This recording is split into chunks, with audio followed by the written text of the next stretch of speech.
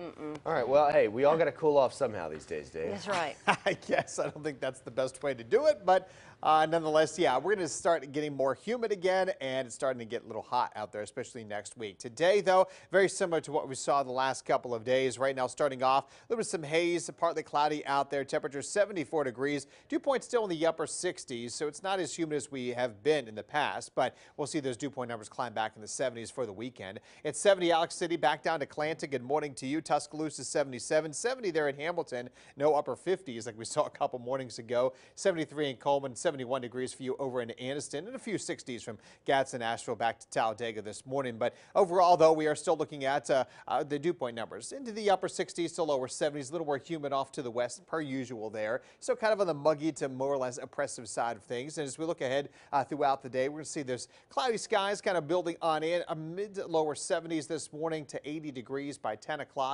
On our way up to about 88 again here. 90 Talladega, 88 Gadsden, 89 there in Tuscaloosa, maybe 91 for you in Moundville. Alabaster, Clanton about 88 degrees today. And again, on average, we should be 91 this time of year. We have some cloud cover moving through. No rain. Had a couple sprinkles early this morning when I came in to work, but most of those have now cleared out. Less humid air is building back to the north, low down along the coastline. That's going to start drawing back up that humid air back to the region here with their southeasterly winds today. And a little upper level disturbance kind of working its way through parts of Mississippi.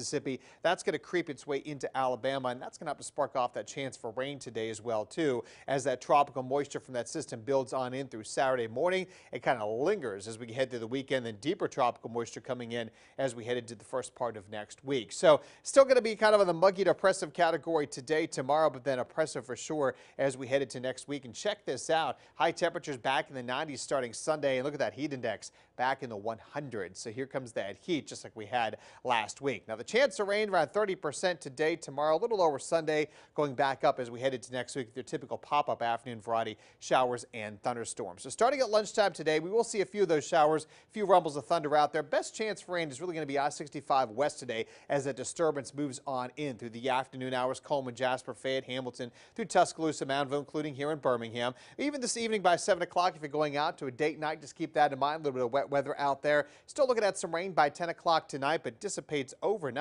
And as we head on into tomorrow afternoon, we will see more across the entire area of Alabama as that little upper level trough moves through, dealing with their scattered showers, maybe a few rumbles of thunder, and they'll taper off as we head on into Sunday morning. So spotty storms today, tomorrow highs in the upper 80s, 90s on Sunday. Then here comes the hot, humid weather next week. Highs in the 90s, heat index in the 100s with a day the chance of those pop-up afternoon storms. All right. Thank you very much.